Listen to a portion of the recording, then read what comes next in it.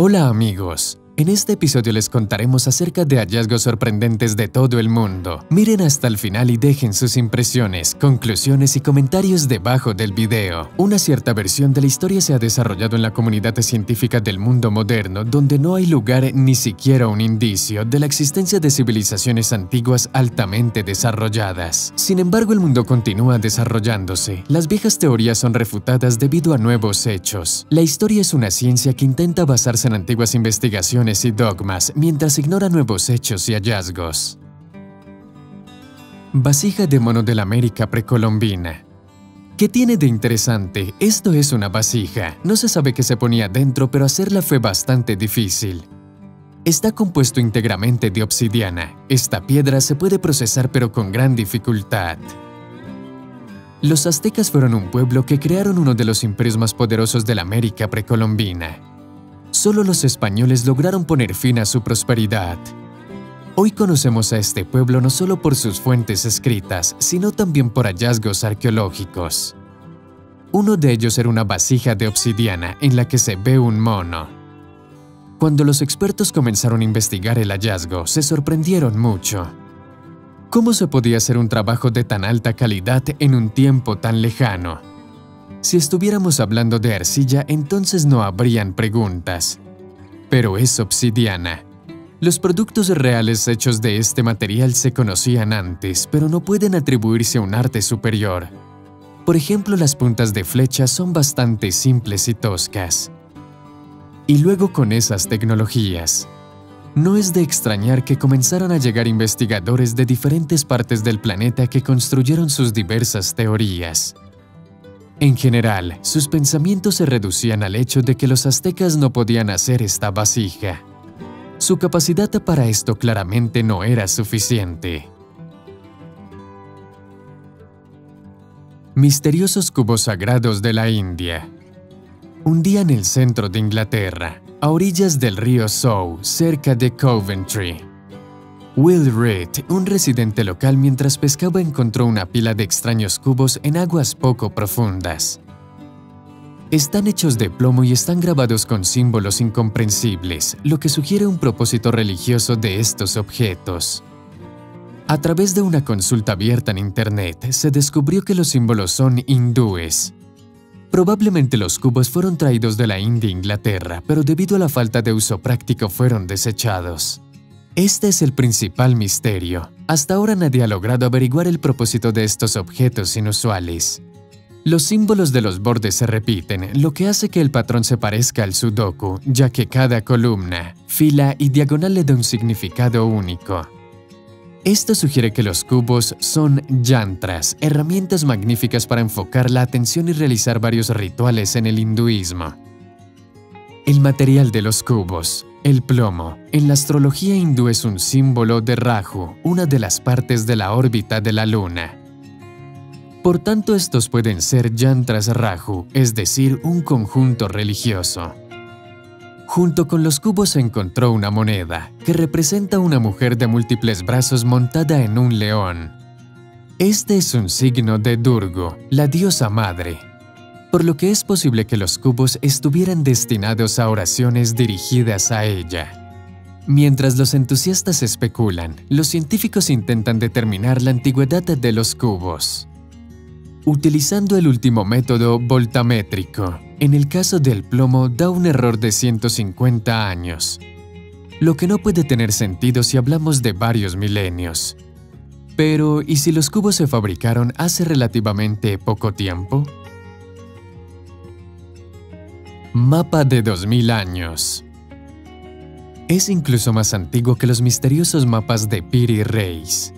Esos se remontan a hace 500 años y se cree que este mapa de piedra encontrado en México se creó entre los años 200 a.C. y 200 después de Cristo. Es decir, 1500 años más antiguos que los mapas de Piris Reis. Queda exactamente por entender que esculpieron allí y las grabaciones deben ser descifradas. Pero con el primer bloque ya se ha logrado el éxito. Este es un mapa de las tierras cercanas. En él los ríos y barrancos están marcados con líneas y los pueblos cercanos a ellos son cavidades y círculos. En general el mapa corresponde con bastante precisión a la vertiente sur del volcán Fuego de Colima, como dicen los científicos. Es imposible fechar los dibujos rayados en el bloque de basalto. Algo se rayó en él, pero cuándo no se sabe. También es imposible fechar el propio bloque de basalto, ya que es una piedra. Pero se puede vincular esta piedra a una erupción volcánica y comprender cuánto tiempo no fue posible hacer este mapa y los dibujos en sí pueden fecharse de acuerdo con la información general de las excavaciones. Allí se encontraron muchos objetos que se prestan bien a los métodos de datación estándar y tienen dibujos hechos con la misma tecnología. Por lo tanto, la datación en este mapa es bastante precisa, hace 2000 años, con una variación de 200 años. Un juego de mesa romano encontrado en un yacimiento nórdico consiste en cubos de hueso y 18 figuras circulares que fueron utilizadas por una persona de estatus significativo. El juego llamado Ludus Latrunculorum consta de 19 partes, incluidos unos dados alargados que se utilizan en el combate entre dos jugadores. Junto con el juego los científicos descubrieron cerámica, fragmentos de huesos, un objeto de bronce y vidrio quemado. Los artefactos se encontraron en un pozo de cremación que se cree que es el lugar de entierro de una persona de alto estatus. Ludus Latrunculorum es un juego de habilidad en el que dos jugadores se enfrentan para capturar piezas enemigas. Cada jugador tiene un número igual de piezas que difieren en color de su oponente. En algunas versiones de este juego, cada jugador también tiene un Dux, una pieza especial con mayores habilidades. Las piezas se mueven por el tablero y rodeándose se capturan entre sí, y una pieza del mismo color atrapada entre otras dos se retira del juego. Las personas que jugaban a estos juegos eran la aristocracia local o la clase alta.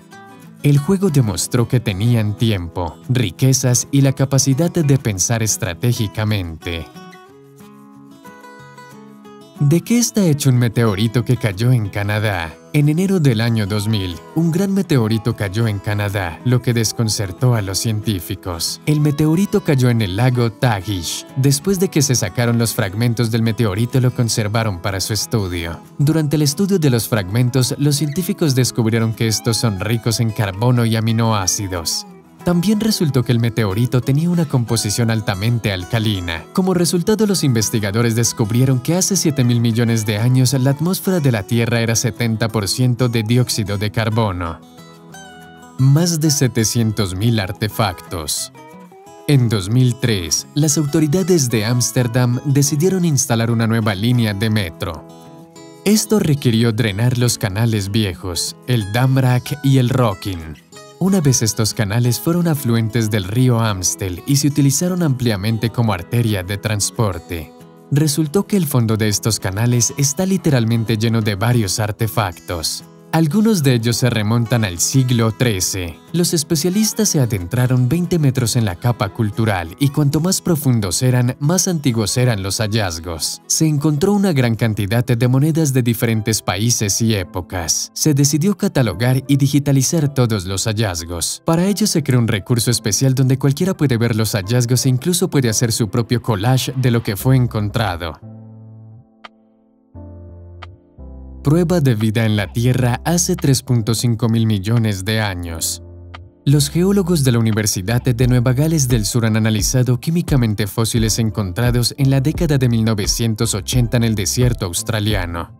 Los fósiles tienen más de 3.500 millones de años y los científicos asumieron que tenían rastros orgánicos, pero técnicamente no pudieron comprobarlo. Anteriormente los científicos creían que los estromatolitos más antiguos encontrados con rastros orgánicos eran fósiles de Groenlandia, que tenían 3.700 millones de años. Sin embargo, en el curso de la investigación química, los científicos no encontraron rastros orgánicos en esta roca. Con fósiles de Australia, los científicos han realizado un trabajo similar. Microscopia electrónica de barrido y microscopia electrónica de transmisión de barrido espectroscopia de rayos X por energía dispersiva y estetoscopía Raman, espectrometría de masas de iones secundarios a nanoescala y análisis de isótopos de carbono estables. Los geólogos señalan que tuvieron que usar muchos métodos para determinar con certeza la presencia de elementos orgánicos en los fósiles. Además, si un método mostraba la presencia de materia orgánica y los otros no, la conclusión final no indicaría vida en estromatolitos. El análisis del equipo mostró que los estromatolitos están compuestos principalmente por un mineral llamado pirita, entrelazado con poros nanoscópicos. Esta pirita contiene inclusiones de materia orgánica nitrogenada, así como filamentos de materia orgánica muy similares a los restos de biopelículas formadas por colonias microbianas.